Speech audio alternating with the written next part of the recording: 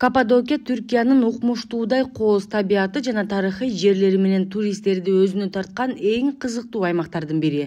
Жомоктор аймагы деген ат менен белгилүү болгон бул локация үңкүр мейманканалары түркүн түстүү аба шаарлары өзгөчө маданий аялдамалары миңдеген жылдык жүзүм талаалары жана карапа жасоо мурастары менен көпчүлүккө кызык жер каппадокия дегенде эле биринчи көз алдыңа пери моорулары келет.